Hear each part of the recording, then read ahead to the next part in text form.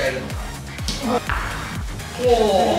こういうのがあるんだこんにちは、えー、山崎です。と今日はですね体をこうどうやったら無知のように使えるのか。っていう体の使い方をお伝えしていきたいと思います、えー、手とかこの足とかがなんかその力んで動かすんではなくてこのまあ背骨を中心にこの腕回りはや柔らかい。柔らかいけれどもパシンっていくような何ていうんですか末端にちゃんと力が伝わっていくような体の使い方をまあどうすればいいのかっていうことを実践を交えながら解説していきたいと思います。この番組は体の不思議や面白さ健康になるための情報を発信している番組です。よかったらチャンネル登録をお願いします。YouTube では言えない健康情報の裏側やえー、体の使い方意識の使い方の奥深い話は、えー、無料のメルマガでさせていただいているので概要欄から登録をお願いします。こう無知のようにこう使うっていうことなんだけど、はい、ここからこうやって動いたら体止まるでしょ。そうそうそうそうこうやってこう分かるでしょ、はい、分からへん いきなりいきなり来るとね、けどなんか分かるでしょ？バーンってくると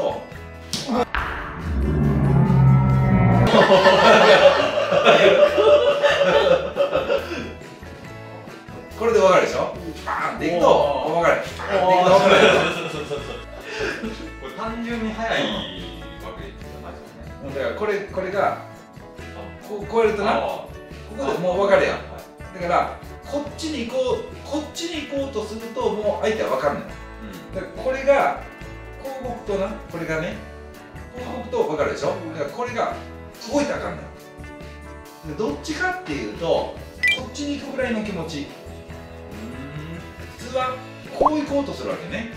でもそのこう行こうとするっていうよりもこういう感じ。わかる？そのこっちに行こうとすると普通はこういうこういう回転になろうとするわけ。でもそのここを動かせへんでどっちかっていうと体をこっちに向けるぐらいの感じ。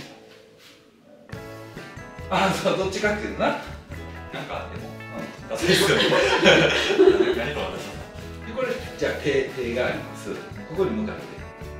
うん向かはい向かい。こうしてそうそうそう。あ、うん。えー、バーンって出てよ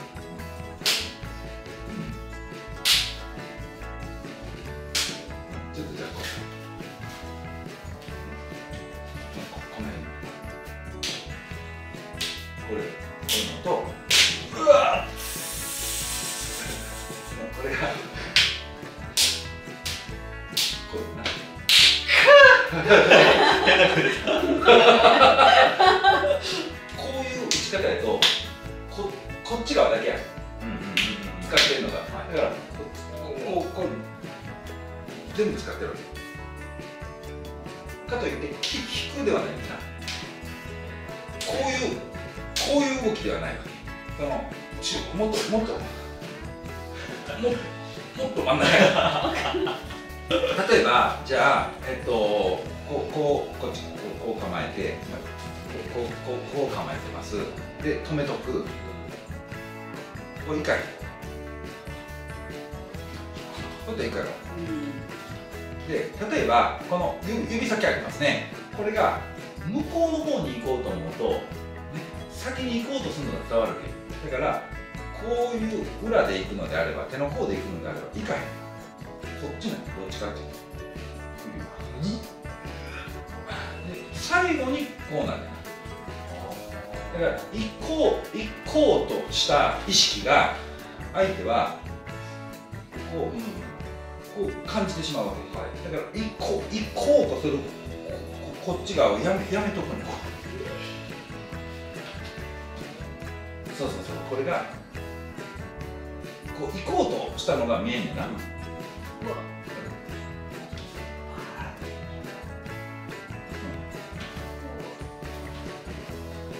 何回やっても動かないそのこっちこっちが体体から動い。てるやつこうこうちょっとこう上の方。だからあそうそうちょっと早いでしょなこれはこここの見えてるところが動き出したら反応ができるわけよ。こここが動き出してないから反応ができへんな。これがこうしたら手首が動いたでしょ、はい、肘が行こうとしてるでしょ、はい、両方とも行こうとしたらあかん。どっちかっていうとこっちにこっちにとくぐらい。分かる？こう行こうとしたら相手分かっちゃうわけ、うん、これもこう行こうとしたら相手分かっちゃうわけ。だからこの両方ともこう行こうとしたらここっちやねん意識として。うん。その体が体がなんか動くからこれが出てくる感じ。っていう風な使い方になるとその無知のようにこうしなった。その腕腕から動かしてるわけじゃないと。むしろ動かしてない、逆の方向に行くぐらいの意識。こどっちかっていうとここっちに意識がある、うん。うん、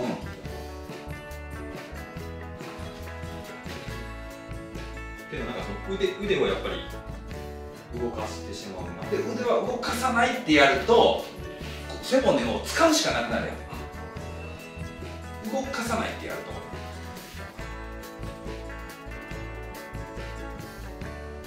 なんかぽいな。ちょっとぽいな。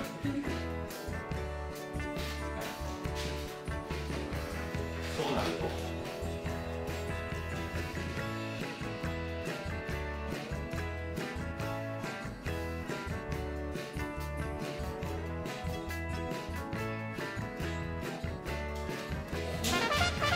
そうそうそうそう。その理屈は分かるなんか体で、はい、けど癖として先に行っちゃう癖があるからそれを我慢。我慢。うんうん。我慢。おそうそうそうそうそうそう。そうそれでこう自分でやると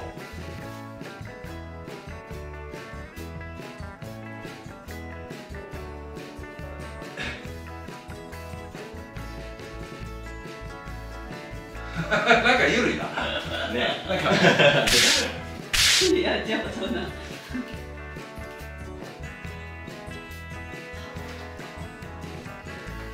っちの方がやな。こっちの方が、ちょっとまだ塊が力んでんな。まあ、このマッサージみたいな感じで肩たたきをこうやりますとその時にまあ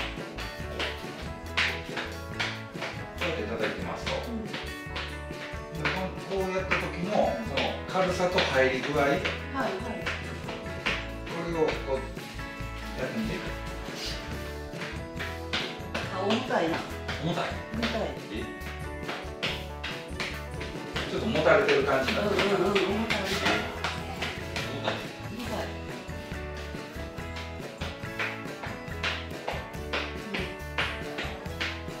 けど中の方に入ってるやろ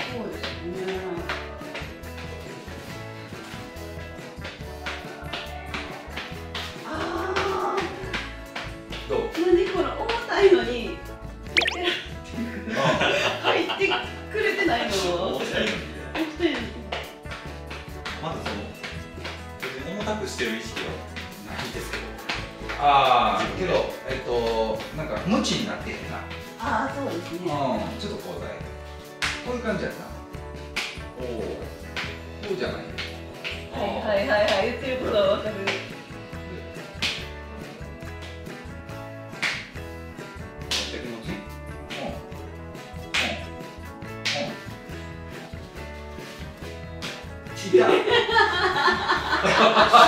事故がちょっと待って。軽くもっと軽く。痛いな表面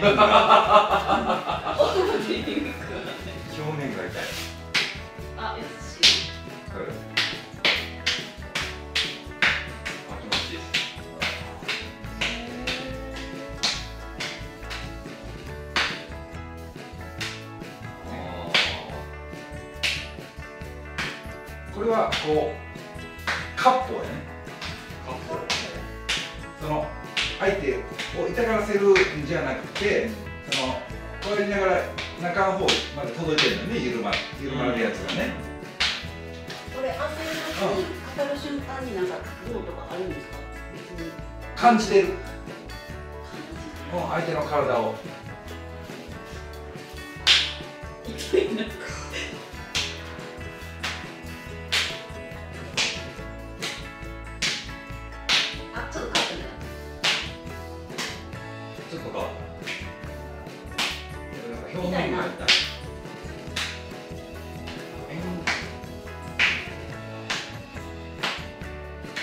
うやってんの？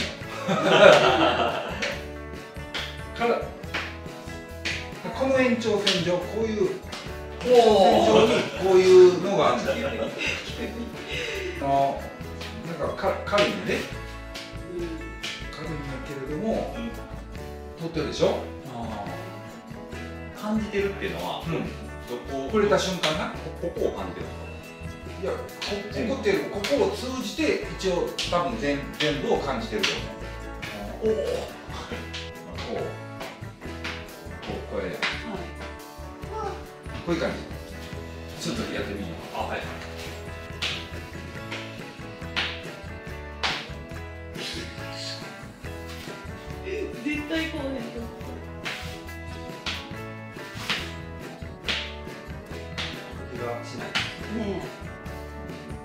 表面だけって感じがします。あだからこの時にこう中に入ってない。入ってない入ってない。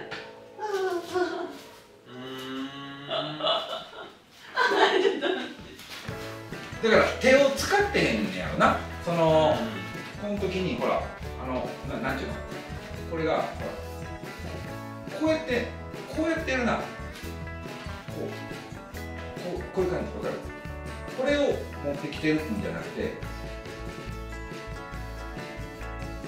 こういう感じで持ってきてるんやろな。そのこうこうこうやってんねうんなんかこういう感じなんちゅうのそのこっち側を持ってくるっていうよりもこうこうこう持ってきてるっていうかそのこうこう下側がこうこういう感じ。だからこの腕を使ってるんじゃなくて体を使って腕をなんかあ。このこのこれやったら腕やねんな、はい、こっち。腕でや腕でやってこのこのこの腕でやるとほら俺俺が跳ね返ってきちゃうから、そのこっちでやってるな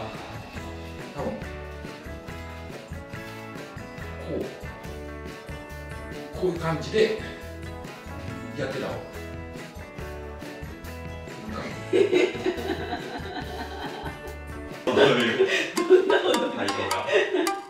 ていう打ち方をしてたね。っていう感じでまあそのこういうこういうのにしてもそのこういうのにしてもその腕を使うんじゃなくて腕は使われるようにすると軽いんやけれどもその奥の方に響いてくれるようなそういう体の使い方なので、まあ、何か、えっとまあ、野球でねこうやって投げるとかにしてもなんかこうやるなんかそのラケットとかでねこういうふうに打ったりするのも多分同じやろうから、まあ、そういうことで、まあ、その野球でもねこの反対の腕を使うっていうのもそうやね、はいそのこう回るんじゃなくてこのこっち側でこうそのなんかこう打ってるんやろな、なんかそういう感じでね その何か、えー、とご自身のその取り組んでおられるそのスポーツとかのその体の使い方に工夫してもらえたらなと思います。この番組が面白いと思われた方はいいねやチャンネル登録をお願いします。